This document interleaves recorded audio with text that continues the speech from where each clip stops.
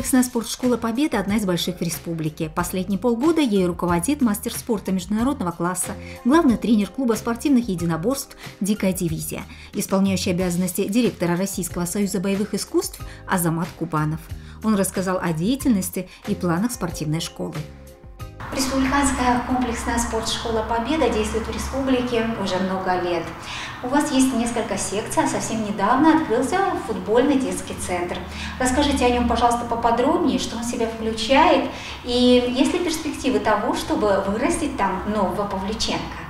Да, комплексная спортивная школа отличается от других спортивных школ тем, что у нас э, несколько видов спорта, а быть точнее более 10 видов спорта.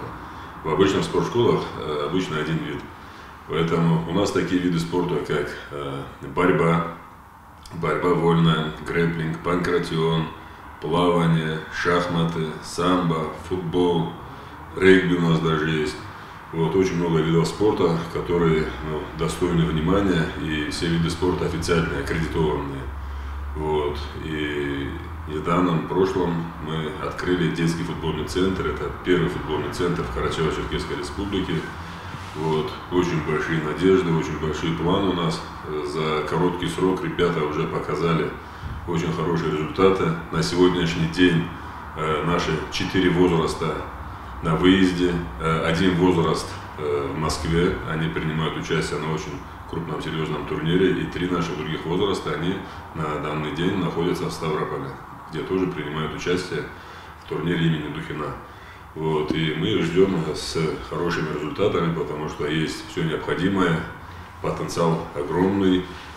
Э, в нашей школе работают высококлассные тренера, именно лучших тренеров мы взяли, они проходили отбор, так называемый кастинг. И все самые лучшие тренера республики с большими именами, они на сегодняшний день работают в КСШ «Победа». Маленький отступ мы можем сделать, обратить внимание на секцию спортивной борьбы. Э, спортивную борьбу у нас входит грэпплинг, панкратион.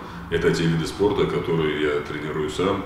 Э, очень много у нас именитых бойцов, именитых спортсменов, чемпионы России, чемпионы всевозможных турниров мировых.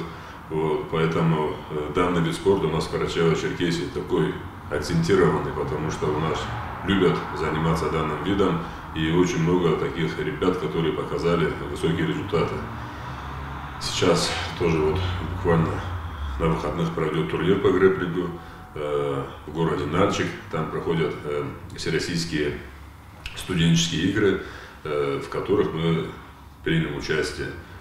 Буквально недавно э, наши спортсмены в Москве приняли участие на чемпионате России. Вы, наверное, слышали, это отец и дочь Кишмаховы, которые заняли первые места то есть э, на День Отца вот такой вот пример отцовства, можно сказать, показал наш, э, наш тренер, наш спортсмен Тимур Кишмахов. Он стал чемпионом России, и в тот же день его дочка Ясмина тоже стала чемпионкой России. То есть это очень большой такой результат, именно семейный результат. Вот.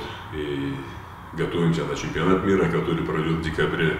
То есть ну, у нас очень плотный график, очень насыщенный график, разные виды спорта. Самбисты наши шикарный результат э, показывают. Аскерби Гербеков недавно выиграл очень серьезный турнир на призы главы э, Белоруссии Лукашенко. Выиграл очень серьезный турнир. Э, в ходе турнира победил всех известных чемпионов, которые были в его весовой категории. Он является ведущим самбистом нашей республики и далеко за пределами республики, наверное, один из лучших вообще самбистов в мире. Вот. Поэтому мы гордимся такими нашими спортсменами. Помоложе у нас есть ребята, э, чемпион первенства России у нас есть, э, Гуков.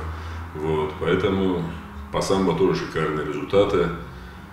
И остальные виды спорта тоже дают результат. Вот по шахматам международный турнир ФИДЕ, один из таких значимых турниров, который победил наш Патер Махарович. То есть, ну, я могу бесконечно в этом говорить, о наших победах, потому что э, действительно за маленький срок наши спортсмены э, немного по-другому начали смотреть на спорт, на достижения и, как сказать, когда человек видит поддержку, именно со стороны Министерства спорта и физической культуры Карачаева-Черкесии, со стороны спортшколы. И когда э, есть такая поддержка, то хочется и выступать, и побеждать. На сегодняшний день, да, у нас такой хороший карт-бланш со стороны именно руководства республики и со стороны Министерства физической культуры и спорта. И поэтому ребята чувствуют себя уверенно и показывают такие результаты. В последние годы в республике возводится много строительных объектов, том числе спортивных. Это спортзалы, спорткомплексы, появляются уличные тренажеры, улучшаются условия для спортсменов. Но, к сожалению, наша республика победную олимпийскую медаль видела почти 30 лет назад, и то это был командный вид спорта. Есть ли шансы, что ситуация изменится в ближайшие годы? Вы задали очень интересный вопрос, буду честен. Ну, скажу так, на сегодняшний день, если опираться на сегодняшний день, очень такие серьезные программы э, господдержки, именно э, стратегии развития спорта. Вот как вы сказали, э, строится очень много фоков, залов, уличных воркаут, там, зал, залов, опять же, спортивных центров. То есть этого всего у нас раньше не было. Так. А сейчас это все у нас есть. Поэтому, следовательно, у нас шансы повышаются на ту же самую Олимпиаду и на призовые места на Олимпиаде. И такой немаловажный факт, сейчас вот я замечаю молодежи, все меньше молодежи э, увлечены там за употреблением там алкогольных напитков, там еще чего-то, э, запрещенных каких-то вещей. Сейчас более молодежь такая стала, во-первых, более религиозная и не употребляют э, такие запрещенные вещества, которые, например, нам запрещают родители, запрещает закон и все остальное. Сейчас больше дети тянутся к спорту. Тянутся почему? Потому что есть пример. Есть пример, одноклассники больше занимаются спортом, там, родители. И все же это все равно вопрос э, обратно возвращается к семье, с чего я и начал. Именно, я думаю, из семьи это все должно быть, когда в семье понимают, что такое спорт, прививают спорт. Если родители спортсмены любят сами физическую культуру, если пусть даже не спортсмен, хоть занимается физической культурой, то и дети будут к этому стремиться. А есть семьи, где ребенок сам стремится, вот я много таких семей знаю, записаться на какую-то секцию, там, показать результат, тренироваться, то они отсекают это, говорят, зачем тебе это нужно. Вот это очень неправильно. Поэтому все у нас начинается с семьи, а родители любят этот вопрос скидывать там в садик, в школы, там, в секции, там плохо занимается. Ну, опять же, когда у ребенка есть поддержка, именно такая вот, можно сказать, похвала там со стороны отца, то есть для него это многого значит. Ребенок может выиграть турнир, придет домой, ему скажешь, ну и что ты выиграл? Все, он погаснет, мы его потеряли. А может это тоже олимпийский чемпион мог бы быть, то есть перспективный ребенок. Сразу же его перспектива гаснет. И, конечно же, со стороны тренера работа, то есть тренер это его второй отец, тренер это его личный психолог, тренер это его друг, это его брат, это его мама, все в одном лице. Если правильно направлять именно всю эту энергию, то результат будет. Самое главное это государственная поддержка, она сейчас действительно есть, э, действительно стараются, поощряют, отправляют на соревнования. То есть ну, с финансами стало намного легче. Вот, поэтому, я думаю, результат не за горами, результат должен быть. Но надо пахать, пахать, тренироваться, всем все понимать. Вот, все зависит от самого человека. Сейчас очень много говорят о том, что нынешние дети менее мотивированы. Если вспоминать спортсменов поколения 90-х, начала 2000-х, то в большинстве своем они занимались вот в тех же подвалах, да, в очень тяжелых условиях, и вы об этом знаете не понаслышке. Но результаты, результаты тогда были блестящие. Сейчас совершенно другая ситуация, но зачастую мы не можем похвастаться такими же результатами. Вот хотелось бы услышать ваше мнение об этом. Уже 21 век, но везде есть свои плюсы и минусы.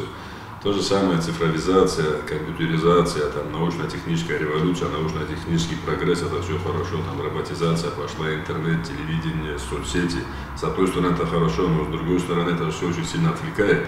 Очень много детей именно зависимы уже от этого. Я больше за то, чтобы, опять же, чтобы дети более возвращались э, к той практике, чтобы больше читали художественную литературу. Поколение, выросшее в спортзалах, я один из спортзалов именно в подвалах, я один из них, мы тоже вырос в подвале.